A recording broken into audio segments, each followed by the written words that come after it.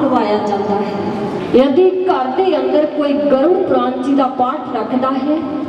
ਸ਼ਾਇਦ ਕੋਈ ਵਿਰਲਾ ਵਿਅਕਤੀ ਹੋਏਗਾ ਦੁਨੀਆ ਦੇ ਵਿੱਚ ਕਿ ਜੋ ਉਸ ਦੇ ਵਿੱਚ ਲਿਖਿਆ ਹੈ। ਵਿਅਕਤੀ ਉਸ ਨੂੰ ਸਮਝਦਾ ਹੈ ਜਾਂ ਉਸ ਨੂੰ ਅੱਛੇ ਤਰੀਕੇ ਦੇ ਦੁਆਰਾ ਸੁਣਨ ਦੀ ਕੋਸ਼ਿਸ਼ ਕਰਦਾ ਹੈ। ਯਦि ਘਰ ਦੇ ਅੰਦਰ ਕੋਈ ਗਰੁੜ ਪ੍ਰਾਨ ਜੀ ਦਾ ਪਾਠ ਰੱਖਦਾ ਹੈ। ਸ਼ਾਇਦ ਕੋਈ ਵਿਰਲਾ ਵਿਅਕਤੀ ਹੋਏਗਾ ਦੁਨੀਆ ਦੇ ਵਿੱਚ ਕਿ ਜੋ ਉਸ ਦੇ ਵਿੱਚ ਲਿਖਿਆ ਹੈ ਵਿਅਕਤੀ ਉਸ ਨੂੰ ਸਮਝਦਾ ਹੈ ਜਾਂ ਉਸ ਨੂੰ ਅੱਛੇ ਤਰੀਕੇ ਦੇ ਦੁਆਰਾ ਸੁਣਨ ਦੀ ਕੋਸ਼ਿਸ਼ ਕਰਦਾ ਹੈ ਦਾ ਪਰੋਸਾਇਆ ਤਮਿਆ ਵਿਨਾਵੇ ਈਦਮ ਦਾ ਪਰੋਸਾਇਆ ਤਮਿਆ ਵਿਨਾਵੇ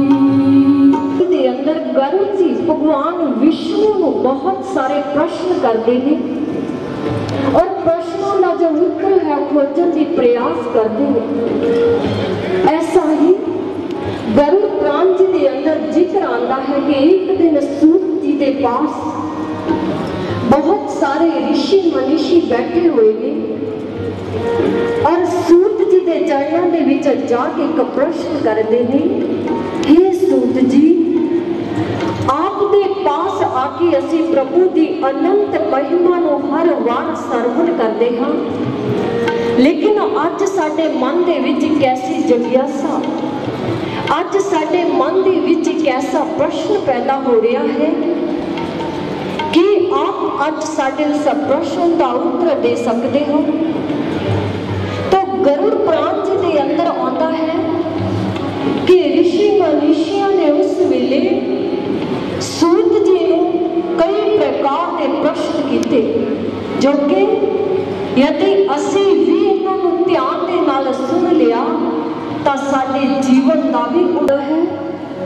ਸਾਡਾ ਸੂਖਸ਼ਮ ਸਰੀਰ, ਤੀਸਰਾ ਕਾਰਨ ਸਰੀਰ, ਜਿਸ ਦੇ ਵਿੱਚ ਸ਼ਾਸਤਰ ਵਰਣਨ ਕਰਦੇ ਨੇ ਕਿ ਰਜੋ ਸਤੋ ਤਮੋ ਗੁਣ ਦੀ ਪ੍ਰਵਿਰਤੀ ਹੋਇਆ ਕਰਦੀ ਹੈ।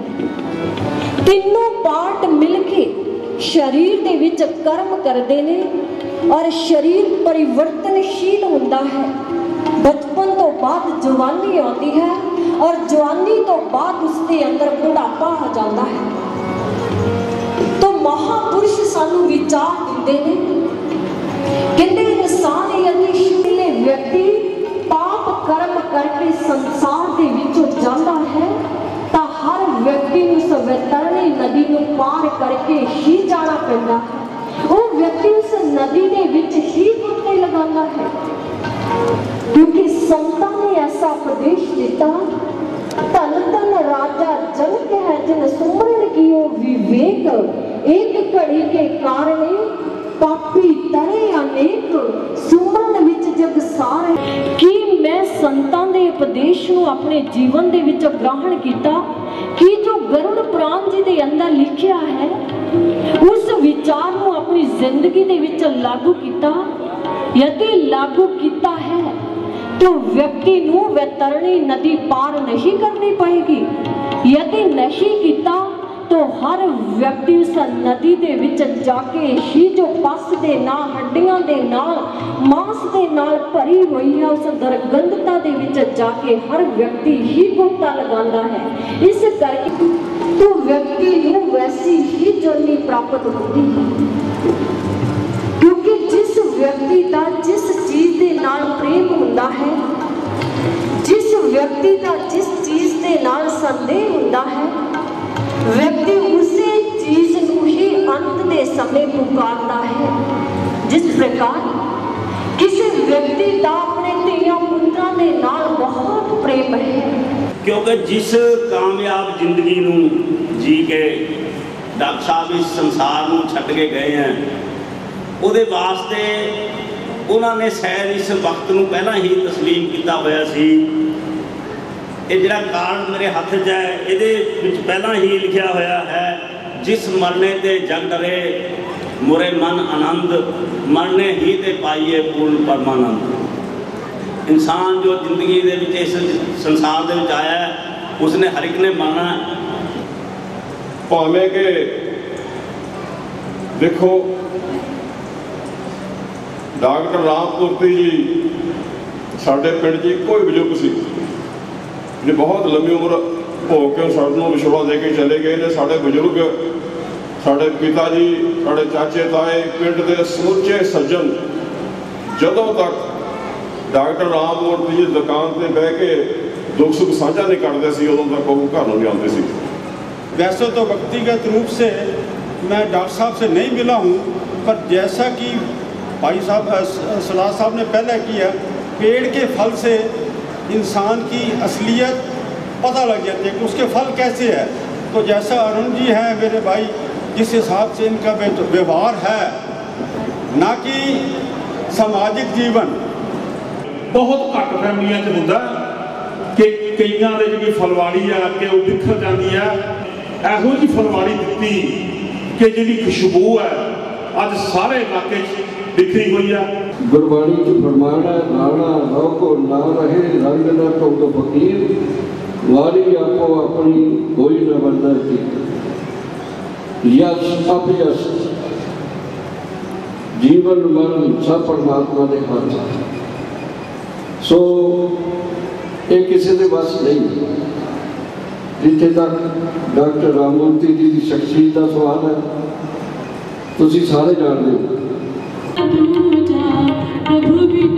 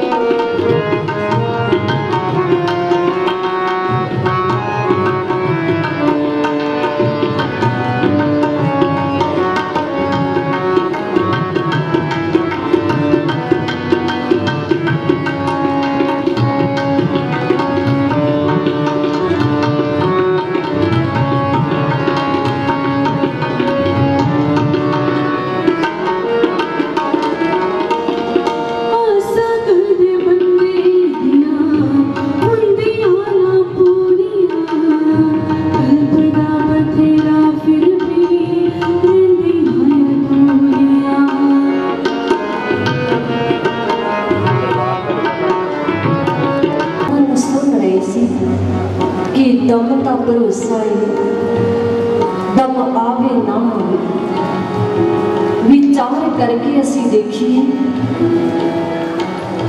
ਕਿਉਂਕਿ ਹਰ ਵਿਅਕਤੀ ਸੋਚਦਾ ਹੈ ਕਿ ਪ੍ਰਮਾਤਮਾ ਨੇ ਮੈਨੂੰ ਇਹ ਸਰੀਰ ਦਿੱਤਾ ਹੈ ਮੈਂ ਸੰਸਾਰ ਦੀ ਰੰਗੀਨਤਾ ਦੇ ਵਿੱਚ ਆਪਣੀ ਜ਼ਿੰਦਗੀ ਨੂੰ ਬਤੀਤ ਕਰ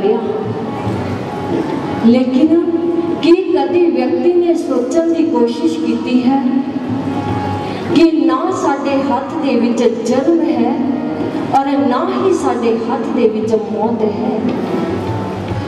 ਨੇ ਖਤਮ ਹੋ ਜਾਂਦੇ ਨੇ। ਕਿਸ ਵੇਲੇ ਸਾਹਾਂ ਦੀ ਜੋ ਤਾਣੀ ਹੈ, ਉਹ ਖਤਮ ਹੋ ਜਾਂਦੀ ਹੈ ਔਰ ਟੁੱਟ ਜਾਂਦੀ ਹੈ।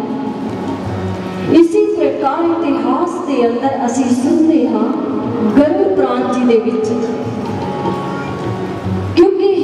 ਹਿੰਦੂ ਕਾਸਟ ਦੇ ਅੰਦਰ ਜਿਸ ਵੇਲੇ ਕੋਈ ਵਿਅਕਤੀ ਸੰਸਾਰ ਦੇ ਵਿੱਚੋਂ ਜਾਂਦਾ ਹੈ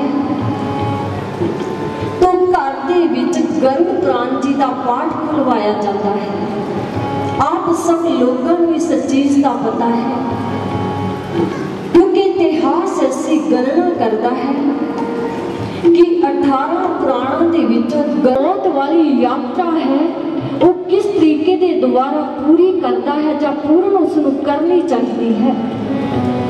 ਗਰੁੜ ਪੁਰਾਣ ਜੀ ਦੇ ਅੰਦਰ ਇਹਨਾਂ ਸਭ ਚੀਜ਼ਾਂ ਦਾ ਜ਼ਿਕਰ ਮਿਲਦਾ ਹੈ। ਯਦਿ ਘਰ ਦੇ ਅੰਦਰ ਕੋਈ ਗਰੁੜ ਪੁਰਾਣ ਜੀ ਦਾ ਪਾਠ ਰੱਖਦਾ ਹੈ। ਸ਼ਾਇਦ ਕੋਈ ਵਿਰਲਾ ਵਿਅਕਤੀ ਹੋਏਗਾ ਦੁਨੀਆ ਦੇ ਵਿੱਚ ਕਿ ਜੋ ਉਸ ਦੇ ਵਿੱਚ ਲਿਖਿਆ ਹੈ।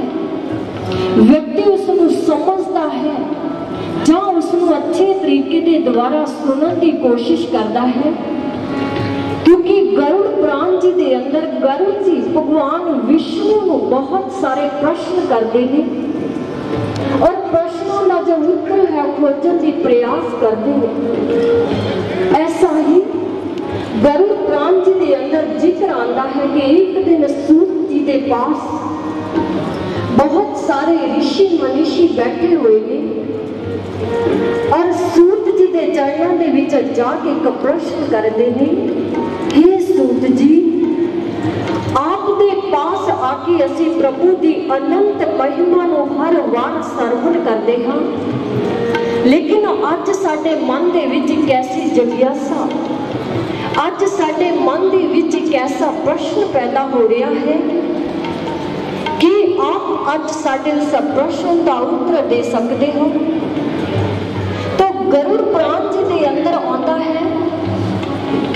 ਕਿ ઋષਿ ਮਨੀਸ਼ੀਆਂ ਨੇ ਉਸ ਵੇਲੇ ਸੂਤ ਜੀ ਨੂੰ ਕਈ ਪ੍ਰਕਾਰ ਦੇ ਪ੍ਰਸ਼ਨ ਕੀਤੇ ਜੋ ਕਿ ਯਦਿ ਅਸੀਂ ਵੀ ਇਹਨਾਂ ਨੂੰ ਧਿਆਨ ਦੇ ਨਾਲ ਸੁਣ ਲਿਆ ਤਾਂ ਸਾਡੇ ਜੀਵਨ ਦਾ ਵੀ ਉਧਾਰ ਹੋ ਸਕਦਾ ਹੈ ਅਸੀਂ ਵੀ ਉਹਨਾਂ ઋષਿ ਮੁਨੀਆਂ ਦਾ ਪੈਂਦਾ ਹੈ ਦੂਸਰਾ ਪ੍ਰਸ਼ਨ ਉਹ ਕਰਦੇ ਨੇ ਕਿ ਹਰ ਵਿਅਕਤੀ ਨੂੰ ਵੈਤਰਣੀ ਨਦੀ ਪਾਰ ਕਰਨੀ ਪੈਂਦੀ ਹੈ ਤੀਸਰਾ ਪ੍ਰਸ਼ਨ ਉਹ ਕਰਦੇ ਨੇ ਕਿ ਹਰ ਵਿਅਕਤੀ ਨੂੰ ਹੀ ਆਪਣੇ ਕਰਮ ਦੰਡ ਦਾ ਭੁਗਤਾਨ ਕਰਨਾ ਪੈਂਦਾ ਹੈ ਔਰ ਜਿਸ ਵੇਲੇ ਸੂਤ ਜੀ ઋષਿ ਮੁਨੀਆਂ ਦੇ ਐਸੇ ਵਿਚਾਰਾਂ ਨੂੰ ਸੁਣਦੇ ਨੇ ਔਰ ਕਹਿਣ ਲੱਗੇ ਕਿ ਇੱਕ ਦਿਨ ਗਰੁੜ ਜੀ ਭਗਵਾਨ ਵਿਸ਼ਨੂੰ ਦੇ ਪਾਸ ਬੈਠੇ ਹੋਏ ਨੇ ਔਰ ਉਹਨਾਂ ਦੇ ਪਾਸ ਉਹਨਾਂ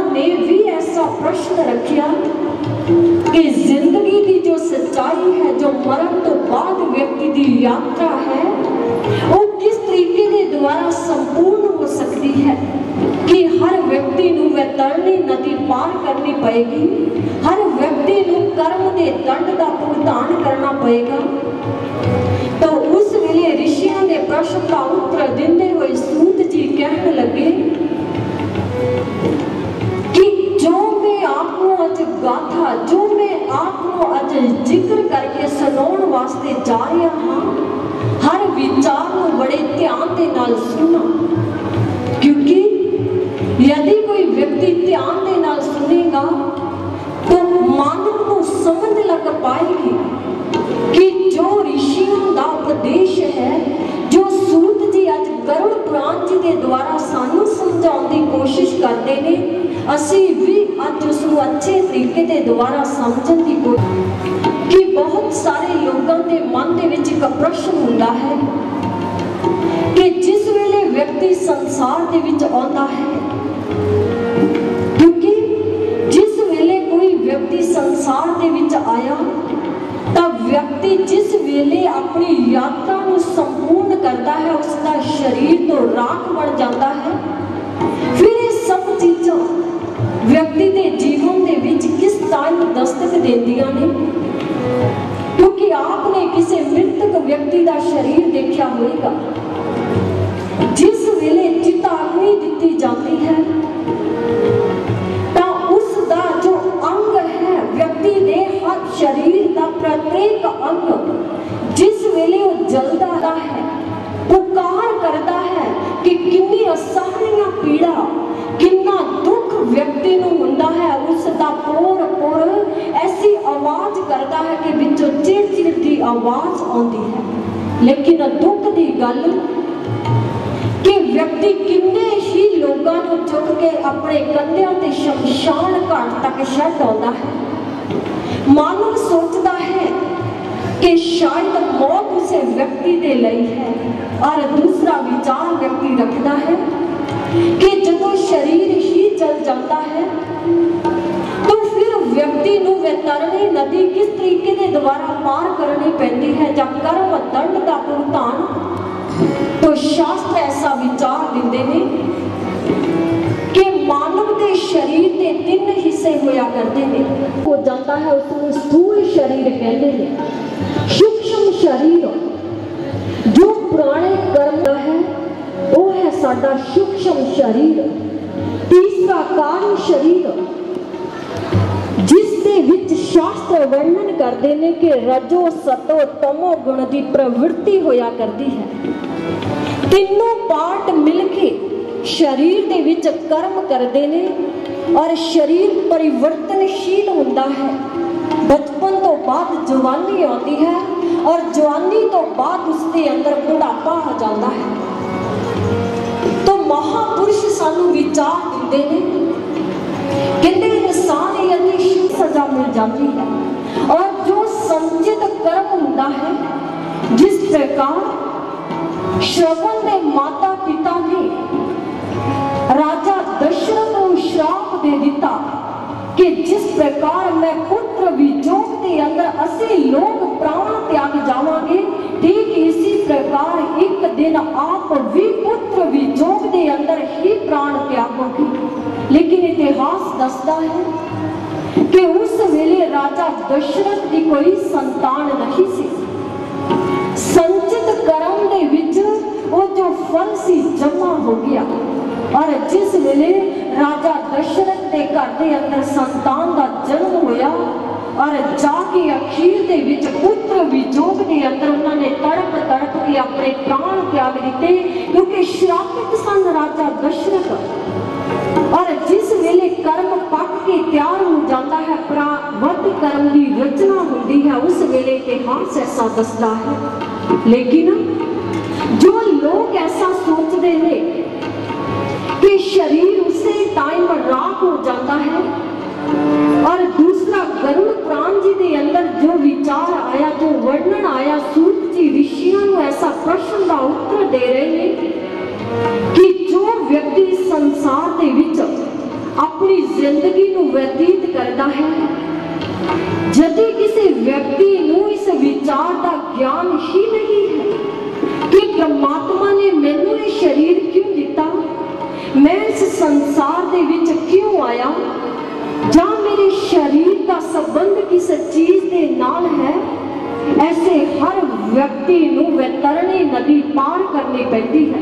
ਜਾਣਦੇ ਹੋ ਜੋ ਵੈਤਰਣੀ ਨਦੀ ਹੈ ਗਰੁੜ ਪ੍ਰਾਣ ਜੀ ਦੇ ਅੰਦਰ ਉਸ ਚੀਜ਼ ਦਾ ਜ਼ਿਕਰ ਮਿਲਦਾ ਹੈ ਕਿ ਜਿਸ ਵੇਲੇ ਵਿਅਕਤੀ ਪਾਪ ਕਰਮ ਕਰਕੇ ਸੰਸਾਰ ਦੇ ਵਿੱਚੋਂ ਜਾਂਦਾ ਹੈ ਤਾਂ ਵੈਤਰਣੀ ਨਦੀ ਕੋਈ ਪਾਣੀ ਵਾਲੀ ਨਦੀ ਲਈ ਵਿਅਕਤੀ ਪਾਪ ਕਰਮ ਕਰਕੇ ਸੰਸਾਰ ਦੇ ਵਿੱਚੋਂ ਜਾਂਦਾ ਹੈ ਤਾਂ ਹਰ ਵਿਅਕਤੀ ਨੂੰ ਉਸ ਵੈਤਰਣੀ ਨਦੀ ਨੂੰ ਪਾਰ ਕਰਕੇ ਹੀ ਜਾਣਾ ਪੈਂਦਾ ਹੈ ਉਹ ਵਿਅਕਤੀ ਉਸ ਨਦੀ ਦੇ ਵਿੱਚ ਹੀ ਬੁੱਤੇ ਲਗਾਉਂਦਾ ਹੈ।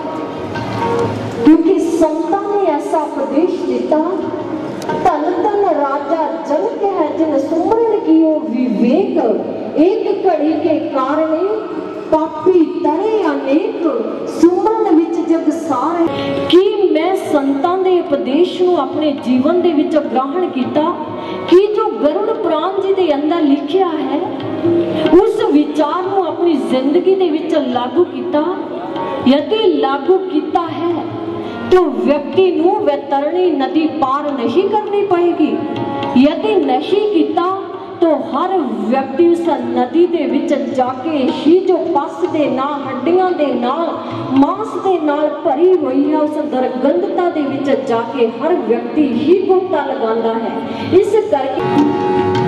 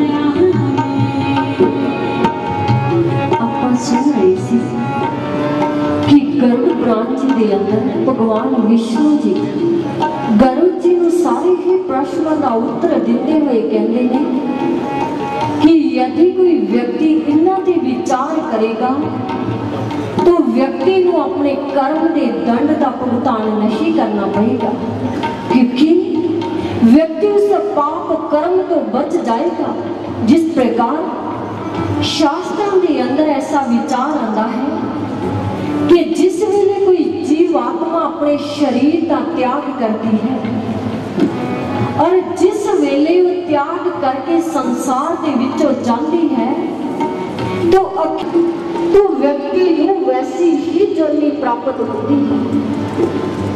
क्योंकि जिस व्यक्ति का जिस चीज़ के नाम प्रेम होता है ਵਿਅਕਤੀ ਦਾ ਜਿਸ ਚੀਜ਼ ਦੇ ਨਾਲ ਸੰਦੇਹ ਹੁੰਦਾ ਹੈ ਵਿਅਕਤੀ ਉਸੇ ਚੀਜ਼ ਨੂੰ ਹੀ ਅੰਤ ਦੇ ਸਮੇਂ ਪੁਕਾਰਦਾ ਹੈ ਜਿਸ ਪ੍ਰਕਾਰ ਕਿਸੇ ਵਿਅਕਤੀ ਦਾ ਆਪਣੇ ਧੀਆਂ ਪੁੱਤਰਾਂ ਦੇ ਨਾਲ ਬਹੁਤ ਪ੍ਰੇਮ ਹੈ ਤਾਂ ਅਖੀਰ ਦੇ ਸਮਾਜਿਕ ਧਾਰਮਿਕ ਅਤੇ ਰਾਜਨੀਤਿਕ ਜਥੇਬੰਦੀਆਂ ਤੋਂ ਆਏ ਹੋਏ ਸਮੁੱਚੇ ਸੱਜਣ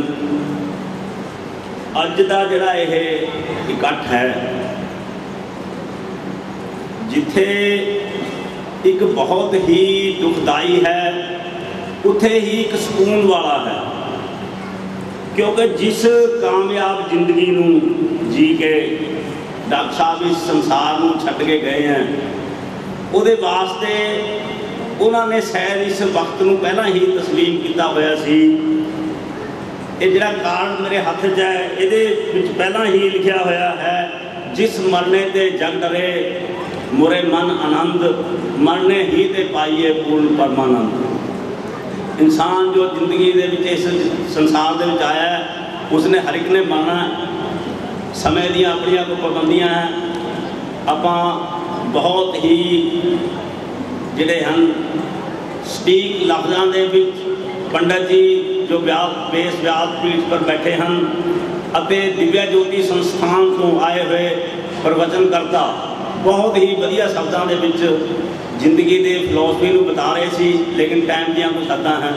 ਸੁਣਨਾ ਚਾਹੁੰਦੇ ਸੀ ਵੀ ਹੋਰ ਜਿੰਨੇ ਦਿਨ ਮਰਜ਼ੀ ਸੁਣੀਏ, ਲੇਕਿਨ ਇਹਦੇ ਨਾਲ ਹੀ ਟਾਈਮ ਦੀ ਵੀ ਜਿਹੜੀ ਹੈਗੀ ਹੈ ਬੰਦਸ਼ਾਂ ਨੂੰ ਦੇਖਣਾ ਹੈ। ਕਿਉਂਕਿ ਲੋਕ ਦੂਰੋਂ ਨੇੜੋਂ ਆਏ ਹੋਏ ਹੁੰਦੇ ਹਨ। ਇਹਦੇ ਨਾਲ ਹੀ ਡਾਕਟਰ ਸਾਹਿਬ ਦੀ ਜ਼ਿੰਦਗੀ ਤੇ ਜੇ ਝਾਤ ਨਾ ਮਾਰੀ ਜਾਏ, ਜਿੰਨਾ ਉਹਨਾਂ ਦਾ ਸਫਲ ਜੀਵਨ ਹੈ, ਉਸ ਤੋਂ ਸਾਨੂੰ ਬਹੁਤ ਕੁਝ ਸਿੱਖਣ ਨੂੰ ਮਿਲਦਾ ਹੈ ਇਹ ਵੀ ਜਿਹੜਾ ਹੈਗਾ ਨਾਮੁਮਕਿਨ ਹੈ। ਡਾਕਟਰ ਸਾਹਿਬ, ਜਿਹੜਾ ਹੈ 1932 ਦੇ ਵਿੱਚ ਨਨੌਲਾ ਪਿੰਡ, ਜਿਹੜਾ ਸਾਡੇ ਤੋਂ ਕੁਝ ਤਕਰੀਬਨ 10-12 ਕਿਲੋਮੀਟਰ ਤੇ ਹੀ ਹੈ। ਉੱਥੇ ਇਹਨਾਂ ਦਾ ਜਨਮ ਹੋਇਆ। ਉਸ ਤੋਂ ਬਾਅਦ ਇਹਨਾਂ ਨੇ ਸਰਕਾਰੀ ਨੌਕਰੀ ਜੁਆਇਨ ਕੀਤੀ। ਲੇਕਿਨ ਐਸਦਾ ਐਸਦਾ ਉੱਥੋਂ ਛੱਡ ਕੇ ਆ ਕੇ ਬਿਹੋਣ ਪਿੰਡ ਦੇ ਵਿੱਚ ਇਹਨਾਂ ਨੇ ਜਿਹੜੀ ਹੈ ਆਪਣੀ ਪ੍ਰੈਕਟਿਸ ਸ਼ੁਰੂ ਕਰਤੀ। ਉਸ ਦਿਨ ਤੋਂ ਅੱਜ ਤੱਕ ਜੋ ਇਹਨਾਂ ਦੀ ਜ਼ਿੰਦਗੀ ਦੀ ਮੰਜ਼ਿਲ ਰਹੀ ਉਹ ਇਸ ਨੂੰ ਇਤਨੀ ਕਾਮਯਾਬ ਕਹਿ ਸਕਦੇ ਆ ਕਿ ਅੱਜ ਇਤਨਾ ਬੜਾ ਇਕੱਠ ਸਮੂਹ, ਰਾਜਨੀਤਿਕ, ਧਾਰਮਿਕ, ਸਮਾਜਿਕ ਜਥੇਬੰਦੀਆਂ, ਇਹਨਾਂ ਨੇ ਜਿੱਥੇ ਇਨਸਾਨ ਦੇ ਚਾਰ ਸਟੇਜ ਹੈ ਪਰਿਵਾਰਿਕ, ਸਮਾਜਿਕ, ਉਸ ਤੋਂ ਬਾਅਦ ਜਿਹੜੀ ਹੈਗੀ ਹੈ ਧਾਰਮਿਕ, ਰਾਜਨੀਤਿਕ। ਅੱਜ ਦੇਖਣ ਨੂੰ ਮਿਲ ਰਿਹਾ ਹੈ ਕਿ ਸਾਰੇ ਚਾਰੋਂ ਸੈਕਟਰਾਂ ਦੇ ਵਿੱਚ ਡਾਕਟਰ ਸਾਹਿਬ ਨੇ ਪੂਰੀਆਂ ਹੀ ਮੱਲਾਂ ਖੱਟੀਆਂ। ਪਰਿਵਾਰਿਕ ਜੀਵਨ ਨੂੰ ਲਈਏ ਤਾਂ ਇਹਨਾਂ ਦੇ ਜਿਹੜੇ ਬੱਚੇ ਹਨ, ਕੁਰੂਕਸ਼ੇਤਰ ਅੰਬਾਲਾ, ਅੱਡਾ ਦੇਵੀਗੜ੍ਹ ਵਿੱਚ ਡਾਕਟਰ ਅਰੁਣ ਜੀ, ਕੁਰੂਕਸ਼ੇਤਰ ਦੇ ਵਿੱਚ ਡਾਕਟਰ ਅਸ਼ਵਨੀ ਮਹਿਤਾ ਜੀ, ਅੰਬਾਲੇ ਮਟੇੜੀ ਦੇ ਵਿੱਚ ਇਹਨਾਂ ਦੇ ਜਿਹੜੇ ਪੁੱਤਰ ਹਨ। ਸੰਜੀਵ ਸ਼ਰਮਾ ਜੀ ਐਡਵੋਕੇਟ ਡਾਕਟਰ ਨੀਲ ਕਮਲ ਜੀ, ਦਿਨੇਸ਼ ਮਹਿਤਾ ਜੀ, ਵਿਸ਼ਾਲ ਮਹਿਤਾ ਜੀ ਪ੍ਰਪੁੱਤਰ ਅਦਵਿਕ ਮਹਿਤਾ ਕਨਮ ਮਹਿਤਾ ਯਾਨੀ ਕਿ ਇੱਕ ਪੂਰਾ ਭਰਾ ਪਰਿਵਾਰ, ਆਪਣੇ ਪਰਿਵਾਰ ਨੂੰ ਇੰਨੀ ਵਧੀਆ ਸੇਧ ਦਿੱਤੀ ਹੋਈ ਸੀਗੀ ਕਿ ਜਿਹੜੇ ਦਾ ਪਰਿਵਾਰ ਸੁਖੀ ਹੈ, ਉਸ ਤੋਂ ਬਾਅਦ ਹੀ ਸਮਾਜ ਦੇ ਕਿਸੇ ਕੰਮ ਜਾ ਸਕਦਾ ਹੈ। ਸਮਾਜ ਦੇ ਵਿੱਚ ਬੜੀ ਨਾਮਨਾ ਖੱਟੀ। ਮੇਰਾ ਖਿਆਲ ਹੈ ਵੀ ਅੱਜ ਦੀ ਇਹ ਜਿਹੜੀ ਸ਼ੋਕ ਸਭਾ ਹੈਗੀ ਹੈ, ਇਹਦੇ ਵਿੱਚ ਪਰਿਵਾਰ ਨੂੰ ਜਿੰਨਾ ਦੁੱਖ ਹੈ, ਉਸ ਤੋਂ ਜ਼ਿਆਦਾ ਦੁੱਖ ਇਲਾਕੇ ਭਰ ਨੂੰ ਹੈ। ਕਿਉਂਕਿ ਇਹ ਪਰਿਵਾਰ ਦੀ ਵਾਸਤੇ ਕਮੀ ਨਹੀਂ ਹੈ, ਇਹ ਪੂਰੇ ਇਲਾਕੇ ਵਾਸਤੇ ਕਮੀ ਹੈ। ਇਹਨਾਂ ਦੀ ਜਿਹੜੀ ਕਮੀ ਹੈਗੀ ਹੈ, ਇਹ ਕਦੇ ਪੂਰੀ ਨਹੀਂ ਹੋ ਸਕਦੀ। ਨਾ ਕੇਵਲ ਪਰਿਵਾਰ ਨੂੰ, ਬਲਕਿ ਪੂਰੇ ਇਲਾਕੇ ਨੂੰ ਇਹਨਾਂ ਦੀ ਕਮੀ ਹਮੇਸ਼ਾ ਖਲਦੀ ਰਹੇਗੀ। ਉਸ ਤੋਂ ਬਾਅਦ ਜਿਹੜੀ ਹੈਗੀ ਹੈ, ਇਹਨਾਂ ਨੇ ਆਪਣੀ ਜਿਹੜੀ ਜ਼ਿੰਦਗੀ ਹੈਗੀ ਹੈ ਉਸ ਨੂੰ ਇੱਕ ਸਿੱਸੇ ਵਾਂਗੂ ਚਮਕਾਇਆ ਹੋਇਆ ਸੀ। ਹਰ ਬੰਦੇ ਵਾਸਤੇ ਪ੍ਰੇਰਣਾ ਦਾ ਸਾਧਨ ਸੀ। ਜ਼ਿਆਦਾ ਕੋਈ ਸਮਾਂ ਨਾ ਲੈਂਦਾ ਹੋਇਆ, ਕਿਉਂਕਿ ਸਮੇਂ ਦੀ ਆਪਣੀਆਂ ਕੋਈ ਹੱਦਾਂ ਹੈ। ਇੱਥੇ ਆਏ ਹੋਏ 2 ਮਿੰਟ ਪਹਿਲਾਂ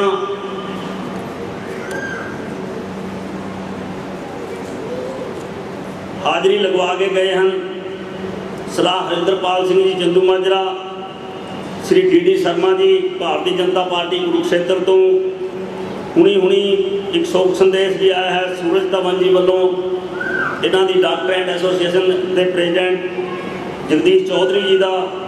ਹੋਰ ਵੀ ਇੱਥੇ ਬਹੁਤ ਪਤਵੰਤੇ ਸੱਜਣ ਬੈਠੇ ਹਨ।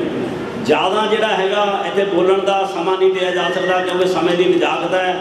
ਹੁਣ ਮੈਂ ਬੇਨਤੀ ਕਰਾਂਗਾ ਸਰਦਾਰ ਸੁਖਦਰਸ਼ਨ ਸਿੰਘ ਜੀ ਮਿਹੋਣ ਨੂੰ, ਜੋ ਜਿਨ੍ਹਾਂ ਦੇ ਨਾਲ ਇਹਨਾਂ ਦੇ ਪਰਿਵਾਰ ਦਾ ਇਸ ਤਰੀਕੇ ਨਾਲ ਰਿਸ਼ਤਾ ਰਿਹਾ ਜਿਸ ਤਰ੍ਹਾਂ ਇੱਕ ਬਾਪ ਪੁੱਤ ਦਾ ਰਿਸ਼ਤਾ ਹੁੰਦਾ ਹੈ ਮਾਂ ਪਿਓ ਦਾ ਰਿਸ਼ਤਾ ਹੁੰਦਾ ਹੈ 2 ਮਿੰਟ ਲਈ ਸੁਖਦਰਸ਼ਨ ਸਿੰਘ ਜੀ ਮਿਹੋਣ। ਬੇਨਤੀ ਹੈ ਕਿ ਸਮੇਂ ਨੂੰ ਮੁੱਖ ਰੱਖਦੇ ਹੋਏ ਸਿਰਫ 2 ਮਿੰਟ ਲਈ। ਇਸ ਸੋਖ ਸਭਾ ਦੇ ਵਿੱਚ ਇੱਕ ਦਰਵੇਸ਼ ਮਹਾਨ ਆਤਮਾ ਜਿਹੜੀ ਕਿ ਸਾਡੇ ਤੋਂ ਕੁਝ ਦਿਨ ਪਹਿਲਾਂ ਸਦੀਵ ਵਿਛੋੜਾ ਦੇ ਕੇ ਚਲੀ ਗਈ ਹੈ, ਉਹਨੂੰ ਸ਼ਰਧਾਂਜਲੀ ਭੇਟ ਕਰਨ ਲਈ ਆਪਾਂ ਇਸ ਮਹਿਤਾ ਪਰਿਵਾਰ ਦੇ ਨਾਲ, ਡਾਕਟਰ ਪਰਿਵਾਰ ਦੇ ਨਾਲ, ਦੁੱਖ ਦੇ ਵਿੱਚ ਸ਼ਰੀਕ ਹੋਣ ਲਈ, ਰਿਸ਼ਤੇਦਾਰ ਸਾਖ ਸੰਬੰਧੀ ਮੈਂ ਦੇਖ ਰਿਹਾ ਸੰਗਤ ਦੇ ਵਿੱਚ ਸਾਡੇ ਪਿੰਡ ਸਾਡੇ ਇਲਾਕੇ 'ਚ ਹਰਿਆਣੇ, ਪੰਜਾਬ ਦੇ ਬਹੁਤ ਦੂਰ ਦਰਾਡੇ ਤੋਂ ਸਮਾਜ ਦੇ ਹਰ ਵਰਗ ਦੇ ਸੱਜਣ ਉਚੇਚੇ ਤੌਰ ਤੇ ਸਮਾਂ ਕੱਢ ਕੇ ਆਏ ਨੇ। ਉਹਨਾਂ ਦਾ ਬਹੁਤ ਬਹੁਤ ਧੰਨਵਾਦ। ਪੰਡਿਤ ਜੀ, ਉਹਨਾਂ ਨੇ ਸ੍ਰੀ ਗਰੁੜ ਪੁਰਾ- ਪੁਰਾਣ ਜੀ ਦੇ ਪਵਿੱਤਰ ਸ਼ਬਦਾਂ ਦਾ ਸਮੇਂ ਮੁਤਾਬਕ, ਢੁਕਵੇਂ ਸਮੇਂ ਮੁਤਾਬਕ ਸਾਨੂੰ ਕਥਾ ਸੁਣਾਈ ਔਰ ਬੀਬੀਆਂ ਨੇ ਵਿਸ਼ੇਸ਼ ਤੌਰ ਤੇ ਬਹੁਤ ਹੀ ਸਿੱਧੇ ਸ਼ਬਦਾਂ ਦੇ ਵਿੱਚ ਜਿੱਥੇ ਸ੍ਰੀ ਗਰੁੜ ਪੁਰਾਣ ਦੇ ਵਿੱਚ ਵਿਸ਼ਨੂੰ ਭਗਵਾਨ ਦੀ ਸਿੱਖਿਆਵਾਂ ਬਾਰੇ ਜਾਣਨਾ ਪਾਇਆ ਉੱਥੇ ਸਾਹਿਬ ਸ੍ਰੀ ਗੁਰੂ ਗ੍ਰੰਥ ਸਾਹਿਬ ਦੇ ਵਿੱਚੋਂ ਵੀ ਮਰਨ ਸਮੇਂ ਜੋ ਕਿਸ ਕਿਸੇ ਨੂੰ ਯਾਦ ਕਰਦਾ, ਕੀ ਉਹਦੇ ਨਾਲ ਬੀਤਦੀ ਹੈ, ਉਹ ਵੀ ਸਿੱਧੇ ਸ਼ਬਦਾਂ ਹੀ ਜਾਣਨਾ ਪਾਇਆ, ਆਪਾਂ ਸਾਰੇ ਸਮਝਦੇ ਭਾਵੇਂ ਕਿ ਦੇਖੋ, ਡਾਕਟਰ ਰਾਮਪੁਰਤੀ ਜੀ ਸਾਡੇ ਪਿੰਡ 'ਚ ਇੱਕੋ ਹੀ ਬਜ਼ੁਰਗ ਸੀ, ਜੇ ਬਹੁਤ ਲੰਮੀ ਉਮਰ ਭੋਗ ਕੇ ਸਾਡੇ ਨੂੰ ਵਿਛੋੜਾ ਦੇ ਕੇ ਚਲੇ ਗਏ ਨੇ, ਸਾਡੇ ਬਜ਼ੁਰਗ ਸਾਡੇ ਪਿਤਾ ਜੀ, ਸਾਡੇ ਚਾਚੇ ਤਾਏ, ਪਿੰਡ ਦੇ ਸਮੁੱਚੇ ਸੱਜਣ, ਜਦੋਂ ਤੱਕ ਡਾਕਟਰ ਰਾਮ ਰਾਮਮੂਰਤੀ ਜੀ ਦੁਕਾਨ ਤੇ ਬਹਿ ਕੇ ਦੁੱਖ ਸੁੱਖ ਸਾਂਝਾ ਨਹੀਂ ਕਰਦੇ ਸੀ, ਉਦੋਂ ਤੱਕ ਉਹ ਘਰ ਨੂੰ ਨਹੀਂ ਆਉਂਦੇ ਸੀ। ਔਰ ਹੁਣ ਤੱਕ, ਜਾਣ ਸਮੇਂ ਤੱਕ ਵੀ ਉਹਨਾਂ ਦਾ ਮਤਲਬ ਖਿੜਿਆ ਚਿਹਰਾ ਹਰ ਬੱਚੇ ਨੂੰ ਸਤਿਕਾਰ ਦੇ ਨਾਲ ਬੁਲਾਉਣਾ ਸਰਦਾਰ ਜੀ, ਆਓ ਜੀ ਸਰਦਾਰ ਜੀ, ਔਰ ਇਹੋ ਜਿਹੀ ਆਤਮਾ ਸੀ। ਅਸੀਂ ਜਿਹੜੇ ਹਿੰਦੁਸਤਾਨ ਦੇ ਵਿੱਚ ਜਿਉਂਦੇ ਹਾਂ ਲੋਕ, ਰੱਬ ਦੀ ਹੋਂਦ ਨੂੰ ਅਸੀਂ ਮੰਨਦੇ ਹਾਂ ਸਹਿਬ ਸ੍ਰੀ ਗੁਰੂ ਨਾਨਕ ਦੇਵ ਜੀ ਆਸਾ ਦੇ ਬਾਅਦ ਚ ਕਹਿ ਕੇ ਗਏ ਨੇ, ਉਪਦੇਸ਼ ਦੇ ਕੇ ਗਏ ਨੇ, ਆਪਾਂ ਪੜ੍ਹਦੇ ਤੇ ਸੁਣਦੇ ਹਾਂ ਜੰਮਣਾ ਮਰਨਾ ਹੁਕਮ ਹੈ, ਭਾਣੇ ਆਵੇ ਜਾਏ। ਸੁਖਨੀ ਸਾਹਿਬ ਜਿਹੜੇ ਲੋਕ ਪੜ੍ਹਦੇ ਆ, ਸਿੱਖ ਪੜ੍ਹਦੇ ਆ, ਸੱਜਣ ਪੜ੍ਹਦੇ ਆ, ਉਹਨਾਂ ਲਿਖਿਆ, ਆਪਣ ਜਾਣ ਇੱਕ ਖੇਲ ਬਣਾਇਆ ਆਗਿਆਕਾਰੀ ਕਿੰਨੀ ਮਾਇਆ।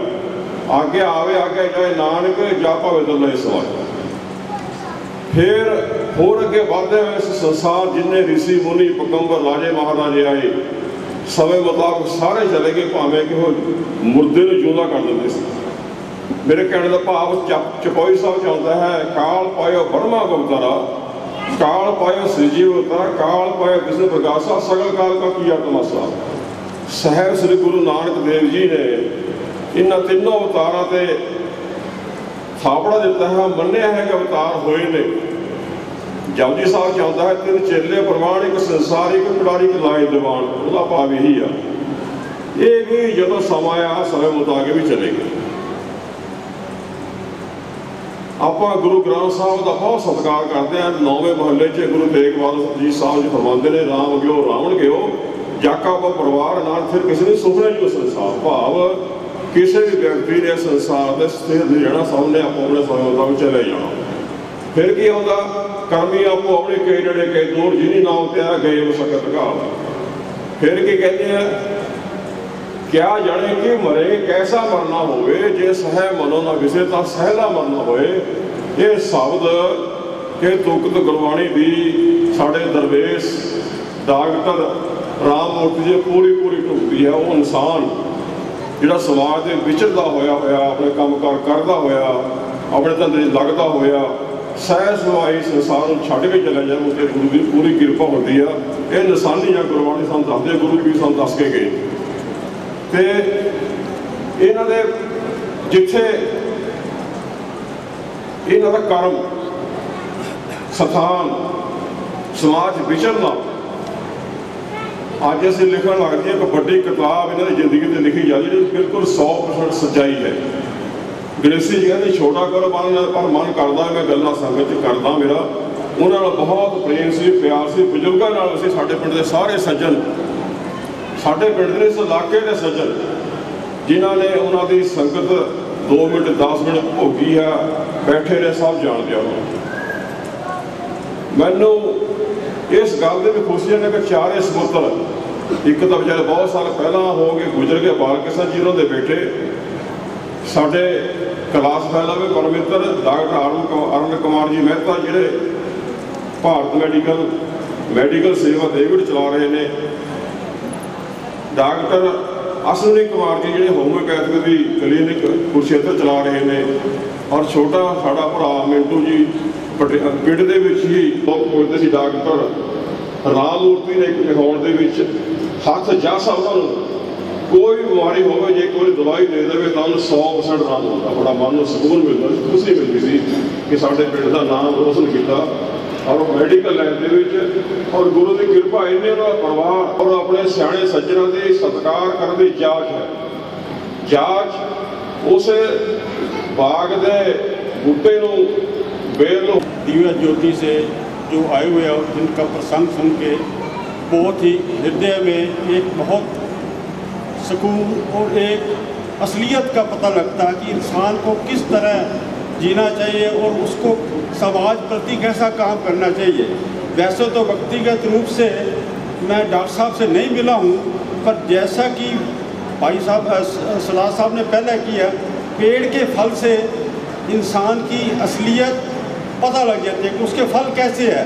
तो जैसा अरुण जी हैं, मेरे भाई, जिस हिसाब से इनका व्यवहार है, ना कि सामाजिक जीवन, व्यवहारिक जीवन, व्यापारिक जीवन, उसमें ये पूरे खरे उतरे हैं तो ये बड़े हर्ष की बात है कि जैसे कि बुज़ुर्गों के बुज़ुर्गों के चरित्र को उन्होंने अनुकरण किया है। तो ये एक सब हमारे समाज के लिए एक बड़ा बड़ा एक ये उदाहरण है, जो मनुष्य आता है। असली तो उसने जो अपना कजा कर्म जो उसका टाइम निश्चित होता है, उसने जाना है। पर जो पीछे वो एक फैमिली को अच्छा सिस्टम दे के गए हैं, वो सब समाज का परिचायक है। मैं इन्हीं शब्दों से, जितना कि मेरे को टाइम की अनुभूति मिली है, बाकी मैं ये कहता हूँ कि जो समूह हम देख रहे हैं, ये उनका प्यार उनका स्नेह उनकी जो मतलब अ, दिशा निर्देश दिए गए समाज उनका पालन करेगा यही हमारा प्रभु भगवान से हम ये भी प्रार्थना करते हैं कि उनको अपने चरणों में नवाज दे और पीछे जो परिवार के सदस्य हैं उनको ये असहनीय दुख सहने का वो अपना हौसला दे धन्यवाद ओम शांति ओम शांति ਹਜ਼ੂਰੀ ਵਿੱਚ ਜੁੜ ਬੈਠੇ ਸਾਧ ਸੰਗਤ ਜੀ ਤਤ ਕੇ ਬਲਾਉ ਫਤਿਹ ਵਾਹਿਗੁਰੂ ਜੀ ਕਾ ਖਾਲਸਾ ਵਾਹਿਗੁਰੂ ਜੀ ਕੀ ਫਤਿਹ ਅੱਜ ਆਪਾਂ ਸਾਰੇ ਰਾਮ ਮੂਰਤੀ ਜੀ ਨੂੰ ਸ਼ਰਧਾਂਜਲੀ ਦੇਣ ਵਾਸਤੇ ਆਏ ਹਾਂ ਬੇਸ਼ੱਕ ਥੋੜਾ ਮਿਲੇ ਲੇਕਿਨ ਜਿੰਨਾ ਵੀ ਮਿਲਿਆ ਉਹਨਾਂ ਨੂੰ ਮੈਂ ਥੋੜੇ ਟਾਈਮ ਵਾਸਤੇ ਇੱਥੇ ਸਾਰੇ ਬੁਲਾਰਿਆਂ ਨੇ ਦੱਸਿਆ ਮੈਂ ਹੁਣ ਸਾਹਿਬ ਨੇ ਦੱਸਿਆ ਲੇਕਿਨ ਮੈਂ ਉਹਨਾਂ ਦੀ ਸ਼ਖਸੀਅਤ ਤੋਂ ਬੜਾ ਪ੍ਰਭਾਵਿਤ ਹੋਇਆ ਸੀ ਔਰ ਇੱਕ ਰਾਮ ਮੂਰਤੀ ਜੀ ਇੱਕ ਇਨਸਾਨ ਤਾਂ ਹੈਗੇ ਸੀ, ਅੱਛੇ ਇਨਸਾਨ ਸੀ। ਲੇਕਿਨ ਉਹ ਇੱਕ ਚੱਲਦੀ ਫਿਰਦੀ ਸੰਸਥਾ ਸੀ, ਆਮ ਇਨਸਾਨ ਨਹੀਂ ਸੀ। ਉਹਨੇ ਸਾਰਾ ਇਲਾਕਾ ਅੱਜ ਤੁਸੀਂ ਆਏ ਹੋ ਉਹ ਇੱਕ ਸੰਸਥਾ ਸੀ। ਸਹੀ ਮੈਨਾਂ ਚ ਜੋ ਸਾਨੂੰ ਫਲਵਾੜੀ ਦੇ ਕੇ ਗਏ ਨੇ। ਬੱਚੇ ਦੇ ਕੇ ਗਏ ਨੇ। ਇੱਕ ਅੱਛੇ ਬੱਚੇ ਦਿੱਤੇ ਅਰੁਣ ਜੀ, ਅਸ਼ਵਨੀ ਜੀ, ਵਿਜੇ ਜੀ ਜਿਨ੍ਹਾਂ ਨੇ ਵੀ ਆਪਣੇ ਪਿਓ ਦੀ ਰਵਾਇਤ ਨੂੰ ਅੱਗੇ ਤੋਰਿਆ। ਬਹੁਤ ਘੱਟ ਫੈਮਲੀਆਂ 'ਚ ਹੁੰਦਾ ਕਿ ਕਈਆਂ ਦੇ ਜਿਹੜੀ ਫਲਵਾੜੀ ਆ ਕਿ ਉਹ ਵਿਖਰ ਜਾਂਦੀ ਆ। ਔਰ ਜਿਸ ਤਰ੍ਹਾਂ ਇਹ ਫਲਵਾੜੀ ਸਾਨੂੰ ਦਿੱਤੀ ਉਹਨਾਂ ਨੇ, ਇਹੋ ਜਿਹੀ ਫਲਵਾੜੀ ਦਿੱਤੀ ਕਿ ਜਿਹੜੀ ਖੁਸ਼ਬੂ ਹੈ, ਅੱਜ ਸਾਰੇ ਇਲਾਕੇ 'ਚ ਵਿਖਰੀ ਹੋਈ ਆ। ਔਰ ਮੈਂ ਜ਼ਿਆਦਾ ਕੁਝ ਨਹੀਂ ਕਹਿਣਾ, ਮੈਂ ਤਾਂ ਇਹ ਕਹਿਣਾ ਕਿ ਜਿਹੜੀ ਫਲਵਾੜੀ ਹੈ, ਦਿਨ ਰਾਤ ਸਾਡੇ ਇਲਾਕੇ 'ਚ ਸੇਵਾ ਕਰ ਰਹੀ ਹੈ ਚਾਹੇ ਉਹ ਕੁਸ਼ੇਤਰ 'ਚ ਹੈ, ਚਾਹੇ ਅੰਬਾਲੇ 'ਚ ਹੈ ਚਾਹੇ ਸਾਡੇ ਦੇਵੀਗੜ੍ਹ 'ਚ ਹੈ ਇਹੋ ਜਿਹੀ ਫਲਵਾੜੀ ਨਹੀਂ ਮਿਲਦੀ। ਇਹ ਆਪਦੇ ਪਿਤਾ ਦੀ ਰਵਾਇਤ ਨੂੰ ਜ਼ਰੂਰ ਕਾਇਮ ਰੱਖਣਗੇ। ਔਰ ਸਾਡਾ ਜਿਹੜਾ ਇਲਾਕਾ ਸਾਰਾ ਇਕੱਠਾ ਹੋਇਆ ਅੱਜ, ਜਿਵੇਂ ਇਹਨਾਂ ਨੇ ਆਪਣਾ ਨਮਾ, ਨਮਾਣਾ ਖੱਟਿਆ, ਨਾ ਖੱਟਿਆ, ਬਹੁਤ ਵੱਡੀ ਗੱਲ ਹੁੰਦੀ ਹੈ। ਜਦੋਂ ਆਪਾਂ ਸਾਰੇ ਕਿਸੇ ਦੇ ਦੁੱਖ ਵਿੱਚ ਜਾਂਦੇ ਆ ਔਰ ਬਿਨਾਂ ਕਿਸੇ ਭੇਦ ਭਾਵ ਤੋਂ ਨਹੀਂ ਤੇ ਪਾਰਟੀਆਂ ਤੋਂ ਉੱਪਰ ਉੱਠ ਕੇ ਆਏ ਨੇ ਸਾਰੇ ਅੱਜ, ਇਹ ਬਹੁਤ ਵੱਡੀ ਗੱਲ ਹੈ। ਔਰ ਅੱਛੀ ਫਲਵਾੜੀ ਦਾ ਜਿਹੜੀ ਮਹਿਕ ਹੈ ਇਹ ਸੱਚੇ ਪਾਤਸ਼ਾਹ ਇਸ ਤਰ੍ਹਾਂ ਹੀ ਬਖੇਰੇ ਔਰ ਰਾਮ ਮੂਰਤੀ ਜੀ ਨੂੰ ਆਪਣੇ ਚਰਨਾਂ 'ਚ ਨਿਵਾਸ ਬਖਸ਼ੇ ਔਰ ਮੈਂ ਵਿਸ਼ੇਸ਼ ਤੌਰ ਤੇ ਹੈਰੀ ਮਾਨ ਜੀ ਨੇ ਆਉਣਾ ਸੀ ਚੰਡੀਗੜ੍ਹ, ਕਿਸੇ ਜ਼ਰੂਰੀ ਮੀਟਿੰਗ ਹੋਣ ਕਰਕੇ ਉਹ ਨਹੀਂ ਆ ਸਕੇ। ਉਹਨਾਂ ਵੱਲੋਂ ਵੀ ਹਾਜ਼ਰੀ ਪ੍ਰਵਾਨ ਕਰਿਓ। ਗੁਰੂ ਪ੍ਰਾਣ ਜੀ ਦੇ ਹਜ਼ੂਰੀ ਤੁਸੀਂ ਬੈਠੇ ਹੋ ਸਾਰੇ। ਵਾਹਿਗੁਰੂ ਜੀ ਕਾ ਖਾਲਸਾ, ਵਾਹਿਗੁਰੂ ਜੀ ਕੀ ਫਤਿਹ। ਗਰਾਗ ਜੀ ਦੀ ਕਥਾ ਦੇ ਮੌਕੇ ਸਾਡੇ ਮਹਾਨ ਇਸ ਇਲਾਕੇ ਦੀ ਸ਼ਖਸੀਅਤ ਸ਼੍ਰੀ ਰਾਮਮੂਰਤੀ ਜੀ ਡਾਕਟਰ ਸਾਹਿਬ, ਜੋ ਕੁਝ ਦਿਨ ਪਹਿਲਾਂ ਸਾਨੂੰ ਹਮੇਸ਼ਾ ਲਈ ਵਿਛੋੜਾ ਦੇ ਕੇ ਪਰਮ ਪਿਤਾ ਪਰਮਾਤਮਾ ਦੇ ਚਰਨਾਂ 'ਚ ਵਿਰਾਜਮਾਨ ਹੋ ਗਏ। ਅੱਜ ਅਸੀਂ ਸਾਰੇ ਇਸ ਪਰਿਵਾਰ ਦੇ ਨਾਲ ਸੰਬੰਧਿਤ ਰਿਸ਼ਤੇਦਾਰ, ਦੋਸਤ, ਮਿੱਤਰ, ਵੱਖ-ਵੱਖ ਰਾਜਨੀਤਿਕ ਪਾਰਟੀਆਂ ਨਾਲ ਸੰਬੰਧਿਤ ਵੱਖ-ਵੱਖ ਧਾਰਮਿਕ ਜਥੇਬੰਦੀਆਂ ਨਾਲ ਸੰਬੰਧਿਤ, ਕਿਸਾਨ ਜਥੇਬੰਦੀਆਂ ਨਾਲ ਸੰਬੰਧਿਤ ਪੰਜਾਬ ਤੋਂ ਬਹੁਤ ਵੱਡੀ ਗਿਣਤੀ 'ਚ ਹਰ ਵਰਗ ਦੇ ਲੋਕ ਪਰਿਵਾਰ ਦੇ ਨਾਲ ਦੁੱਖ ਸਾਂਝਾ ਕਰਨ ਵਾਸਤੇ, ਵਿਛੜੀ ਆਤਮਾ ਨੂੰ ਸ਼ਰਧਾ ਦੇ ਫੁੱਲ ਭੇਟ ਕਰਨ ਵਾਸਤੇ ਔਰ ਪਰਮਾਤਮਾ ਦੇ ਚਰਨਾਂ 'ਚ ਅਰਦਾਸ ਕਰਨ ਵਾਸਤੇ ਅਸੀਂ ਸਾਰੇ ਜੁੜੇ ਇਸ ਸੰਸਾਰ ਜੋ ਵੀ ਆਇਆ ਉਹ ਚਲਾ ਗਿਆ। ਅਸੀਂ ਸਭ ਨੇ ਜਾਣਾ ਮਰਨਾ ਸੱਚ, ਜੀਣਾ ਝੂਠ, ਇਹ ਇੱਕ ਟਰ ਸਟਾਈਲ ਕੋਈ ਵੀ ਵੱਡੇ ਤੋਂ ਵੱਡੀ ਸ਼ਖਸੀਅਤ ਜੋ ਵੀ ਇਸ ਧਰਤੀ ਤੇ ਆਈ, ਜੋ ਇਸ ਮਾਤ ਲੋਕ ਤੇ ਆਈ, ਉਹ ਰਹਿ ਨਹੀਂ ਸਕੀ। ਭਾਵੇਂ ਕੋਈ ਰਿਸ਼ੀ ਸੀ, ਕੋਈ ਸੰਤ ਸੀ, ਮਹਾਤਮਾ ਸੀ, ਬਾਦਸ਼ਾਹ ਸੀ, ਫਕੀਰ ਸੀ, ਅਵਤਾਰ ਸੀ, ਜੋ ਵੀ ਆਇਆ, ਉਹ ਚਲਾ ਗਿਆ। ਗੁਰਬਾਣੀ ਚ ਫਰਮਾਨ ਹੈ ਰਾਣਾ ਰੋ ਕੋ ਨਾ ਰਹੇ, ਰੰਗ ਨਾ ਟੋਕ ਫਕੀਰ। ਵਾਰੀ ਆਪੋ ਆਪਣੀ, ਕੋਈ ਨਾ ਬੰਦਾ ਕੀ ਯਸ, ਅਪਯਸ। ਜੀਵਨ, ਮਰਨ, ਸਭ ਪਰਮਾਤਮਾ ਦੇ ਹੱਥ। ਸੋ, ਇਹ ਕਿਸੇ ਦੇ ਵੱਸ ਨਹੀਂ। ਜਿੱਥੇ ਤੱਕ ਡਾਕਟਰ ਰਾਮਮੂਰਤੀ ਜੀ ਦੀ ਸ਼ਖਸੀਅਤ ਦਾ ਸਵਾਲ ਹੈ, ਤੁਸੀਂ ਸਾਰੇ ਜਾਣਦੇ ਹੋ। 41 ਸਾਲ ਹੋ ਗਏ ਵਿਚਰਦੇ ਹੋਏ ਮੈਨੂੰ ਇਸ ਇਲਾਕੇ 'ਚ। ਜਦੋਂ ਤੋਂ ਮੈਂ ਰਾਜਨੀਤੀ ਸ਼ੁਰੂ ਕੀਤੀ, ਹਮੇਸ਼ਾ ਹੀ ਡਾਕਟਰ ਰਾਮਮੂਰਤੀ ਜੀ ਦਾ ਆਸ਼ੀਰਵਾਦ ਲੈ ਕੇ ਹੀ ਚੱਲੇ। ਔਰ ਮੈਨੇ ਉਹ ਜ਼ਮਾਨਾ ਦੇਖਿਆ, ਉਹ ਸਮਾਂ ਸੀ। ਇਸ ਪਿੰਡ ਦੇ ਸਰਦਾਰ ਜਰਨੈਲ ਸਿੰਘ ਜੀ ਦੀ ਤੂਤੀ ਖੜਕਦੀ ਸੀ ਸਾਰੇ ਇਲਾਕੇ, ਸਾਰੇ। ਉਹਦੇ ਪਿੱਛੇ ਕੌਣ ਸੀ? ਉਹਦੇ ਪਿੱਛੇ ਸ਼ਖਸੀਅਤ ਸੀ ਡਾਕਟਰ ਰਾਮਮੂਰਤੀ। ਡਾਕਟਰ ਰਾਮਮੂਰਤੀ ਜੀ ਇੱਕ ਐਸਾ ਬੂਟਾ ਸੀ, ਇੱਕ ਐਸੀ ਘਣੀ ਛਾਂ ਵਾਲਾ ਬੂਟਾ, ਫਲਦਾਰ ਬੂਟਾ, ਜਿਸ ਦੀ ਛਾਂ ਦਾ ਆਨੰਦ ਇਸ ਪਰਿਵਾਰ ਦੇ ਜੀਆਂ ਨੇ ਹੀ ਨਹੀਂ ਸਾਡੀ ਸੇਵਾ ਚ ਹਾਜ਼ਰ ਰਹੇ। ਔਰ ਲਗਾਤਾਰ ਪੰਜਾਬ ਸ਼ਹਿਰ ਹੀ ਕੋਈ ਐਸਾ ਇਲਾਕਾ ਹੋਊਗਾ, ਜਿਹਦੇ 'ਚ ਲਗਾਤਾਰ ਕਿਸੇ ਨੇ 8 ਇਲੈਕਸ਼ਨਾਂ ਲੜੀਆਂ ਹੋਣ, ਤੇ ਜਿੱਤ ਪ੍ਰਾਪਤ ਕੀਤੀ ਹੋਵੇ, ਉਹਦੇ ਪਿੱਛੇ ਇਹੀ ਮਾਨਸਿਕ ਚਿੰਤਾ ਸੀ ਬੰਦਾ ਕੋਈ ਵੱਡਾ ਨਹੀਂ ਮੈਂ ਸਮਝਦਾ ਰਾਮ ਮੂਰਤੀ ਜੀ ਕੈਸੀ ਸ਼ਖਸੀਅਤ ਸੀਗੀ, ਇੰਨਾ ਵੱਡਾ ਇਨਸਾਨ ਸੀ। ਵੱਡੇ ਤੋਂ ਭਾਵ ਇਹ ਨਹੀਂ ਹੋਣਾ ਚਾਹੀਦਾ ਕਿ ਉਹਦੇ ਕੋਲ ਪੈਸੇ ਬਹੁਤ ਵੱਡਾ ਤੋਂ ਜ਼ਿਆਦਾ ਜੀ ਉਹ ਵੱਡਾ ਇਨਸਾਨ ਪੈਸੇ ਨਾਲ ਵੱਡਾ ਨਹੀਂ ਵੱਡਾ ਇਸ ਨਾਲ ਇਸ ਨਾਲ ਨਹੀਂ ਕਿ ਐਮਐਲਏ ਬਣ ਗਿਆ ਐਮਪੀ ਬਣ ਗਿਆ, ਵਜ਼ੀਰ ਬਣ ਗਿਆ। ਉਹ ਵੱਡਾ ਨਹੀਂ। ਵੱਡਾ ਇਨਸਾਨ ਇਸ ਕਰਕੇ ਨਹੀਂ ਕਿ ਉਹਦੇ ਕੋਲ ਮਹਿਲਵਾੜੀ ਹੈ ਇਹ ਠੀਕ ਹੈ, ਮਹਿਲ ਵਾਲੇ ਵੀ ਵੱਡੇ ਹੈ ਰੁਤਬੇ ਵਾਲੇ ਵੀ ਵੱਡੇ ਹੈ ਪੈਸੇ ਵਾਲੇ ਵੀ ਵੱਡੇ ਹੈ ਵੀ ਉਹਨਾਂ ਸਭ ਨਾਲੋਂ ਵੱਡਾ ਇਨਸਾਨ ਉਹ ਹੈ ਜਿਹਦਾ ਸਾਰੇ ਲੋਕ ਸਤਿਕਾਰ ਕਰਦੇ ਜਿਹਦੇ ਲੋਕਾਂ ਦੇ ਦਿਲਾਂ 'ਚ ਜਿਹੜਾ ਵਸਦਾ ਹੋਵੇ ਉਹ ਉਹੀ ਹੋ ਸਕਦਾ ਹੈ।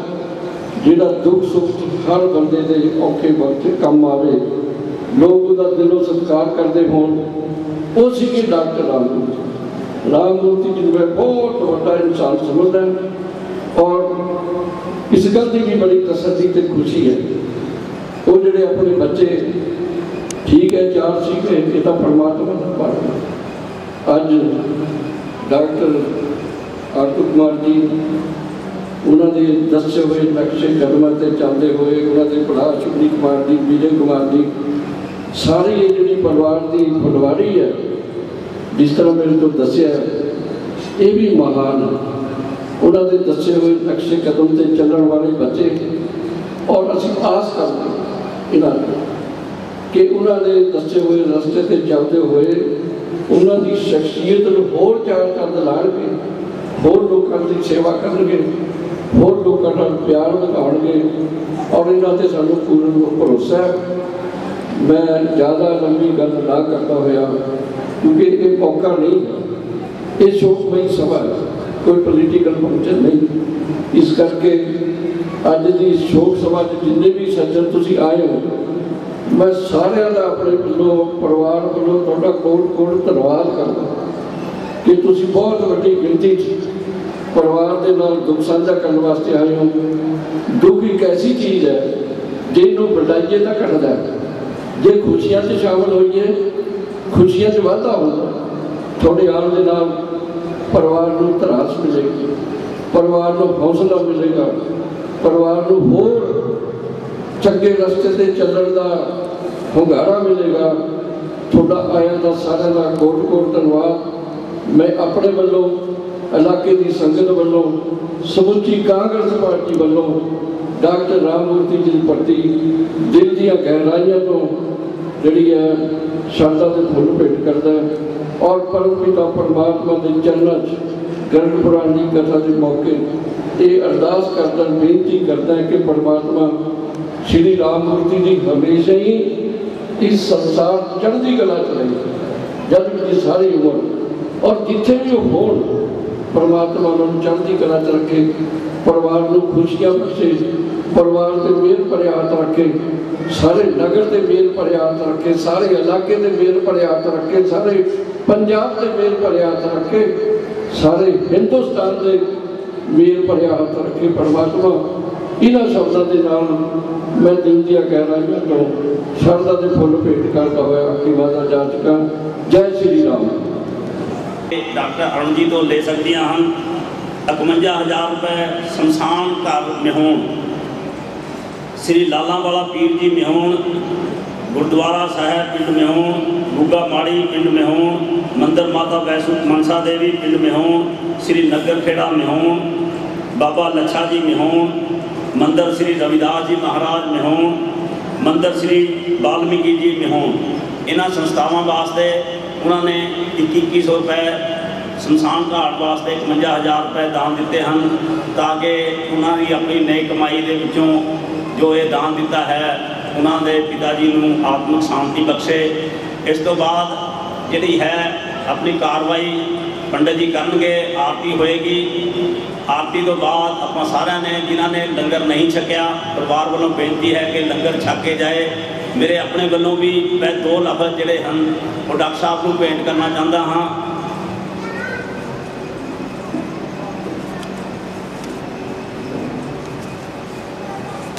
ਮੁਨੀ ਓਡੀ ਓੜ ਕੇ ਮੈਲੀ, ਕੀਨੀ ਚਤਰੀਆ ਦਾਸ ਕਬੀਰ ਜਤਨ ਤੇ ਓਡੀ ਜਿਉ ਕੀ ਤਿਉ ਧਰ ਦੀਨੀ ਚਤਰੀਆ ਇਹ ਜਿਹੜਾ ਇਨਸਾਨ ਦਾ ਜਾਮਾ ਹੈ ਪਰ ਸਾਰੇ ਹੀ ਪ੍ਰਮਾਤਮਾ ઋષਿ ਮੁਨੀ, ਦੇਵੀ, ਦੇਵਤੇ ਸਭ ਇਸੇ ਜਾਮੇ ਨੂੰ ਪ੍ਰਾਪਤ ਕਰਕੇ ਆਏ। ਲੇਕਿਨ ਕਈਆਂ ਦੇ, ਕਈ ਤਰ੍ਹਾਂ ਦੇ ਚਲਦੀ ਜ਼ਿੰਦਗੀ ਵਿੱਚ ਛਿੱਟੇ ਲੱਗਦੇ ਹਨ। ਲੇਕਿਨ ਕਬੀਰਦਾਸ ਜੀ ਨੇ ਬੜੇ ਸੋਹਣੇ ਸ਼ਬਦਾਂ ਦੇ ਵਿੱਚ ਲਿਖਿਆ ਹੈ ਕਿ ਜਿਸ ਨੇ ਵੀ ਜੁਗਤ ਨਾਲ ਜਿਹੜੀ ਹੈਗੀ ਹੈ ਯਤਨ ਦੇ ਨਾਲ ਯਤਨ ਕਰਦੇ ਹੋਏ ਇਸ ਨੂੰ ਹੰਡਾਇਆ ਉਹ ਇਸ ਤਰੀਕੇ ਨਾਲ ਹੀ ਦੁਨੀਆ ਦੇ ਵਿੱਚੋਂ ਬੱਲੇ ਬੱਲੇ ਖੱਟ ਕੇ ਜਾਂਦੇ ਹਨ, ਜਿਸ ਤਰ੍ਹਾਂ ਕਿ ਡਾਕਟਰ ਰਾਮ ਮੂਰਤੀ ਜੀ ਜ਼ਿਆਦਾ ਕੁਝ ਨਾ ਕਹਿੰਦਾ ਹੋਇਆ, ਸ- ਆਪਣੇ ਸਾਰਿਆਂ ਵੱਲੋਂ ਪਰਮ ਪਿਤਾ ਪਰਮਾਤਮਾ ਦੇ ਚਰਨਾਂ ਵਿੱਚ ਬੇਨਤੀ ਹੈ ਕਿ ਉਹ ਜਿਹੜੀ ਹੈਗੀ ਹੈ ਦਿਵੰਗਤ ਆਤਮਾ ਨੂੰ ਸ਼ਾਂਤੀ ਬਖਸ਼ੇ, ਆਪਣੇ ਚਰਨਾਂ ਵਿੱਚ ਨਿਵਾਸ ਬਖਸ਼ੇ, ਪਰਿਵਾਰ ਨੂੰ ਭਾਣਾ ਮਨਾਉਣ ਦੀ ਤਾਕਤ ਬਖਸ਼ੇ। ਹੁਣ ਬੇਨਤੀ ਕਰਦਾ ਹਾਂ, ਸਟੇਜ ਤੋਂ ਬੈਠੇ ਪੰਡਿਤ ਜੀ ਨੂੰ ਕਿ ਉਹ ਆਰਤੀ ਕਰਨਗੇ ਅਤੇ ਅੱਗੇ ਦੀ ਸਟੇਜ ਦੀ ਕਾਰਵਾਈ ਸ਼ੁਰੂ ਕਰਨਗੇ। ਪੰਡਿਤ ਜੀ ਮਹਾਰਾਜ।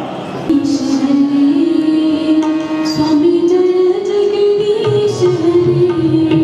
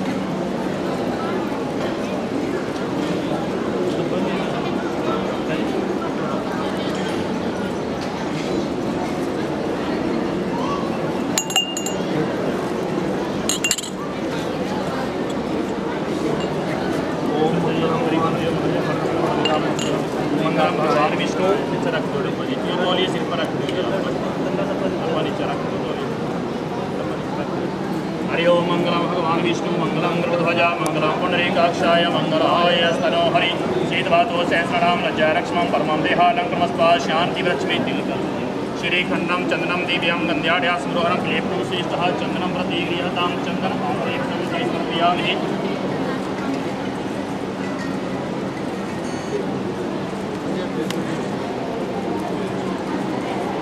हरि ओं नाभ्यासनं दृक्षुशिष्णो देवभव समवर्ता प्रत्यापविदृशास्तोतात्कालोपान्